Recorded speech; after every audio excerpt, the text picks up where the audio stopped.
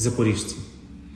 За інформацією наших військових, інтенсивність ведення бойових дій на запорізькому напрямку знижується, але при цьому загарбники намагаються покращити своє тактичне положення і минулої доби проводили бої в районі Комишувахи та Васильівки.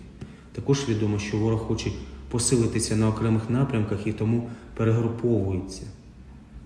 Окрім того, місцеві мешканці повідомляють про збільшення кількості окупантів у селі Новогорівка Васильівського району та у селі Інженерна Пологівського району. А у Васильівці кількість російських військових вже перевищує кількість місцевих жителів. У свою чергу українські бійці стоять на варті захисту запорізької землі і продовжують очищати її від живої сили та техніки рашистів. Протягом минулої доби було ліквідовано 26 одиниць особового складу ворога та ще 20 було поранено. Окрім того, наші воїни ліквідували 5 бойових броньованих машин окупантів, 2 безпілотника Орлан, одну артилерійську установку та 4 одиниці автомобільної техніки.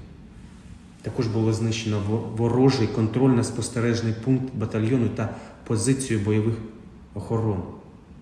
Ми дякуємо нашим захисникам за відвагу, мужність та незламність.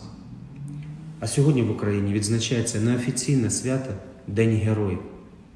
І я думаю, що кожен з вас погодиться з тим, що усі наші воїни справжні герої, якими ми дуже пишаємося, захоплюємося та якими щохвилини дякуємо від усього серця. А ще сьогодні ми відзначаємо День морської піхоти.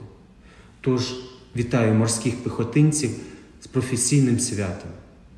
Ви воїни, які з честю та гідністю під своїм незламним гаслом, вірні назавжди, мужньо боронять Україну від рашистської навали. Я бажаю вам здоров'я, сил, наснаги, високого бойового духу та безлічі перемог і на воді, і на суші.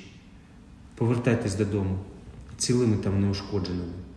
Низький вам уклін, слава Україні, героям слава!